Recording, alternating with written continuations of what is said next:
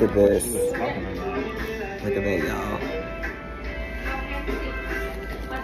All right, so we're at this place called uh, Crush Juice Bar, and this is a smoothie bowl. This is actually called the Green Energy, and it has spinach, apple, cucumber, celery, lime, ginger, pineapple, banana, organic wheatgrass, and organic agave.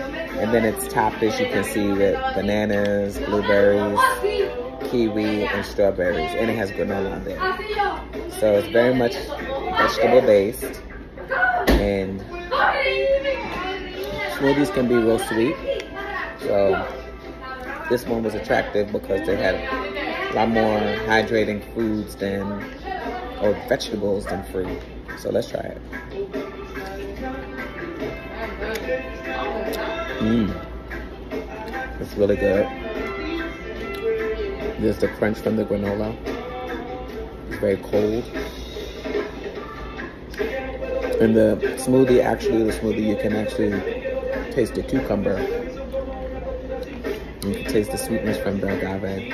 It's really good. I really like that. So, if you guys are in Puerto Rico, San Juan, you guys can check out Crush Juice Bar. You get a smoothie bowl, you can do an acai bowl, you can do a bunch of different kinds of ways to have your juice. So, all right, y'all. Peace.